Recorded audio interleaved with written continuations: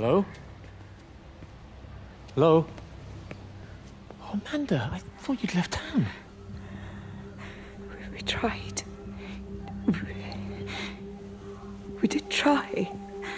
But they've closed all the roads and you can't get through. And, and then Georgie and Ben said they had headaches. And then they started bleeding. And... But it was horrible. They were so scared.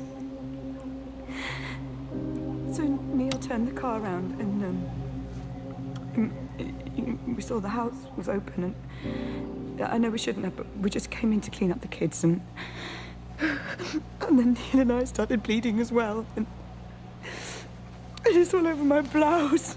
Everyone was so tired. It's all right, Amanda. Everything will be all right. Just try and calm down and tell me where Neil and the children are. They're upstairs.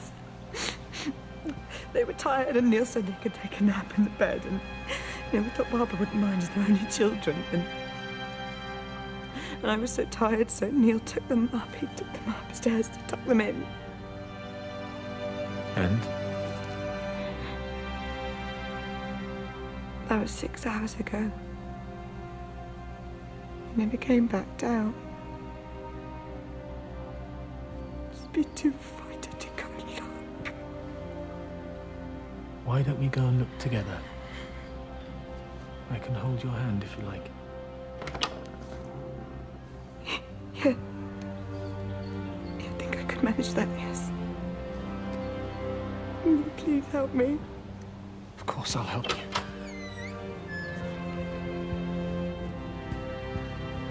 Neil? Neil, are you there?